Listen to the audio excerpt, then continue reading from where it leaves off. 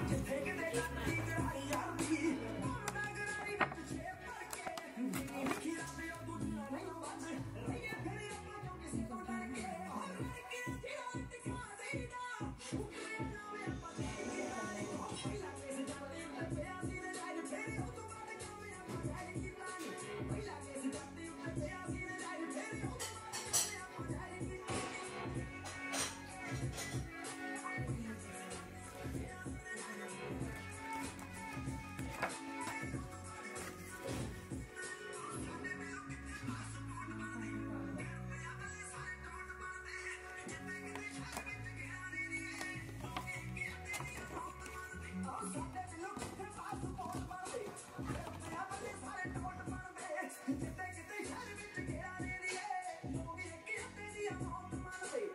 ਤੇਰੀ ਹੋਵੇ ਨੀ ਭਾਵੇਂ ਸੰਤਰੀ ਹੋਵੇ